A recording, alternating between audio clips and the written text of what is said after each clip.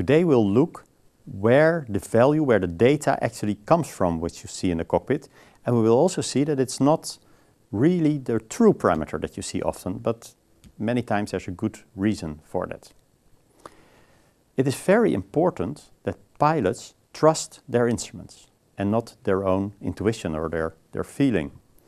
Uh, when you learn to fly on the instruments, blind flying basically, this is the first thing you have to let go, your intuition, because you don't want to end up following uh, well the situation that the, the pilot in, the, in this cartoon is uh, experiencing.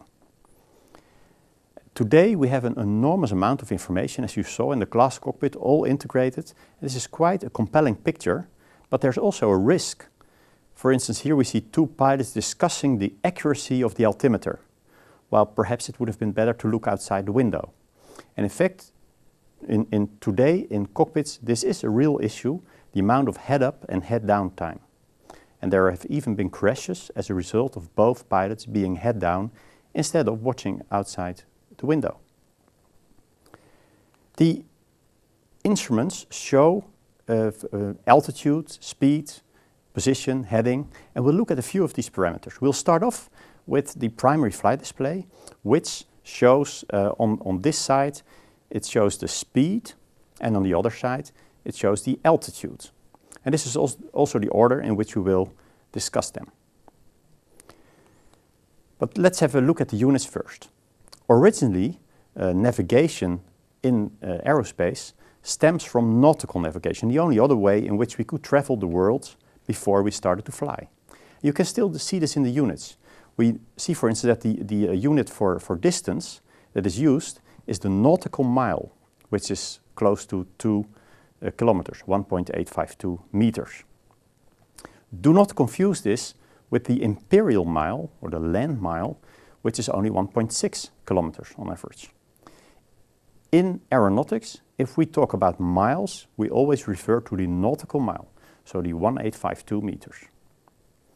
For altitude, we normally use the unit foot. So the altitude is expressed in feet, and one foot is 0.3048 meters. We, in our calculation, we want to use SI units, but when we talk about instrumentation, you have to know these units because this is what the pilots use and what they're used to, and this probably won't change very quickly. For speed, we see that the nautical mile per hour is used, and this is one knot, as we call it. 1852 meters divided by 3600 seconds, and this results in a conversion factor to meters per second, which is 0.51444. During exercises, the conversion factor will always be given. We do not require the students to know the conversion factors, but it is good to, to be aware of them, have this order of magnitude. For vertical speed, the unit feet per minute is used, and to get a feeling for it, a normal vertical speed in an airliner is 1,500, so 1,500 feet per minute is a sort of regular vertical speed, a common vertical speed. Often you hear also speed expressed in Mach, the Mach number.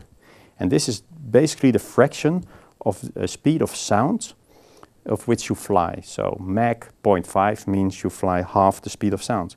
Mach 2 means you fly twice the speed of sound.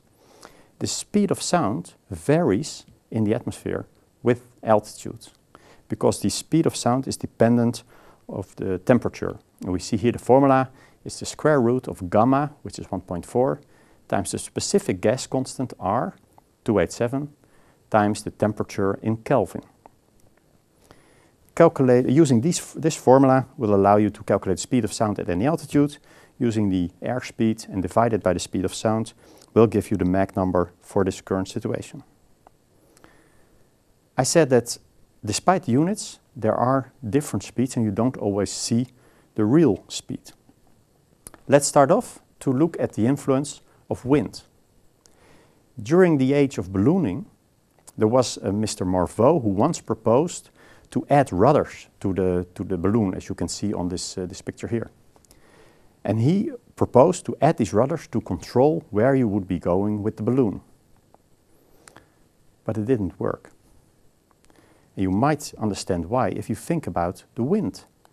If the balloon is moved by the air, that means that locally there is no wind. When you're underneath a, a balloon, you won't feel any, any wind because you move with the wind.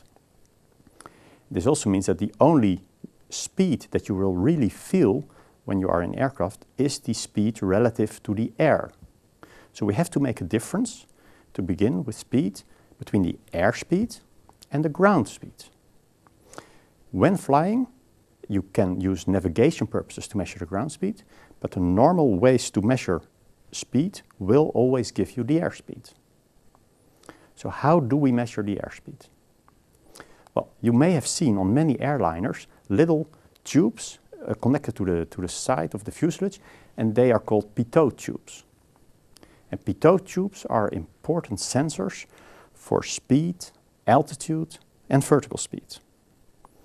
But how do they work, and what are the errors? Let's first look at how they measured speed in the old days. In the old days, they used a very simple mechanic device. We see here a, a spring which, which connects a little uh, beam which is able to feel the wind locally. This spring will be stretched if the wind pushes the vane to the back.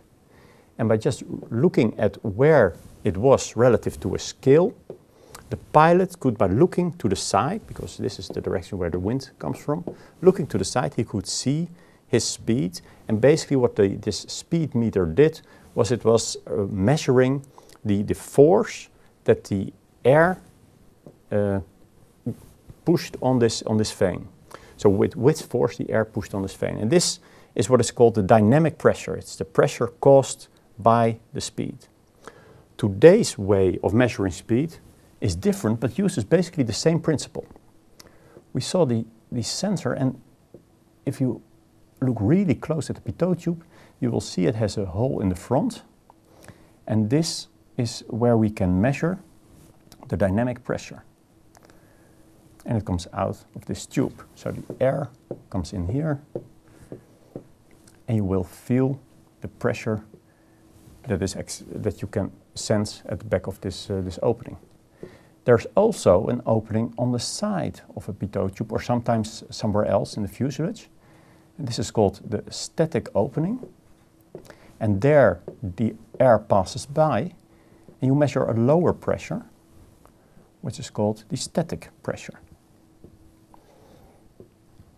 Well, the, one, the, the, the inside of the pitot tube also senses the static pressure. So this pressure that is inside this tube is called the total pressure. And the total pressure consists of the sum of the static pressure plus the dynamic pressure. For the dynamic pressure, sometimes the letter Q is used. And the dynamic pressure depends on speed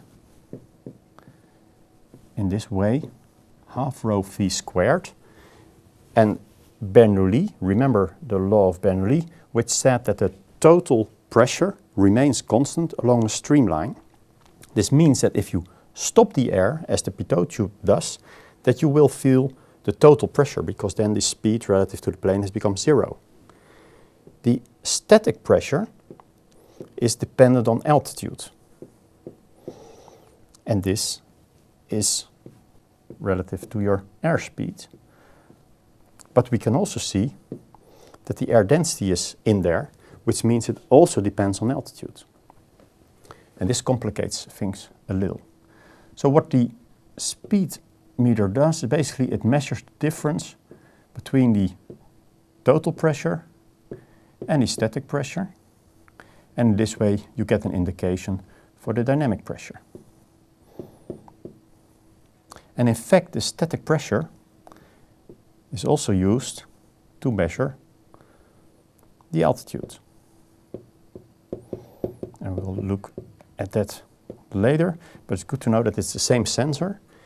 And the static pressure is also used to measure the vertical speed. And this is done by measuring it twice, once with a very narrow opening and the chamber with a larger opening. And by measuring the difference between these two pressures, you get an indication for the vertical speed. So with one pitot tube, you can measure a lot. But I said this half rho v squared is not just the airspeed, but it also contains this air density. Well, the, the trick of the speed measurement is that we basically ignore this. We assume always that the density is equal to the density at sea level, which is 1.225 kilogram per meter cubed. And this is the speed which we show, and we call this the equivalent airspeed. Equivalent airspeed.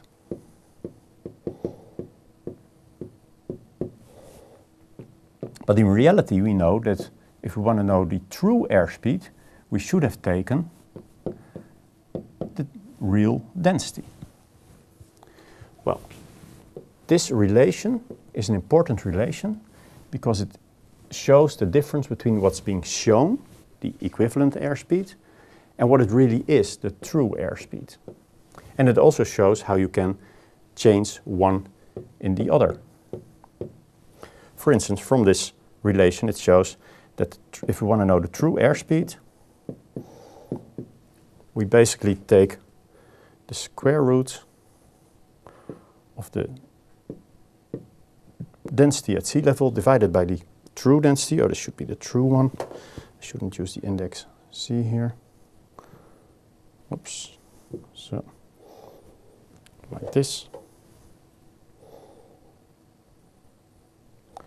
True times the equivalent airspeed. This is a relation to convert the equivalent airspeed, as you can measure it, to the true airspeed. However, in the cockpit, we show the equivalent airspeed. We do not do this conversion. And the reason is that the equivalent airspeed is the measure for the total dynamic pressure, which is far more important than the true airspeed. The dynamic pressure is what determines whether you will still fly, whether you fly too fast or too slow, uh, whether the wings can still sustain the aircraft or whether there is a risk of anything breaking off the aircraft. The dynamic pressure is much more important than the speed, it determines the performance and that's why by default performance specifications but also cockpit instruments always talk about the equivalent airspeed. Well, not fully the equivalent airspeed, but something very close to the equivalent airspeed. Because if we look at the speed which we have, we have the equivalent airspeed, but there's more speed. In fact, there are more effects. The pitot tube is, might not be in the correct position. There's an instrument error. So if we start all the way to the, to the left with the indicated airspeed, the first thing we need to do is to take out the instrument error.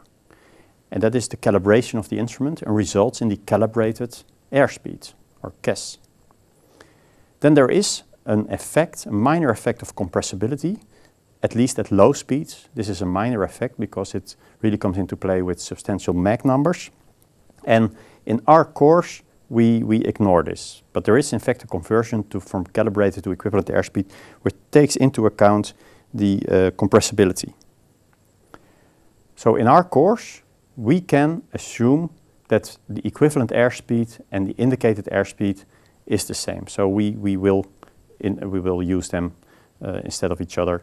And if I say indicated airspeed in an exercise, you can assume that this is equal to the equivalent airspeed. It's an ideal instrument and there's no compressibility. Then we saw that the relation between equivalent airspeed and true airspeed depends on the air density. And if you want to know the ground speed, you need to take the wind into account. To get the Mach number, you need the speed of sound, which also depends on altitude by the temperature. And this gives you the Mach number, the fraction of the speed of sound which you, uh, which you fly. So this means that the same true airspeed will result in a different Mach number for different altitudes. So we need to know the altitude as well. And this is exactly the topic of the next lecture on navigation and instruments.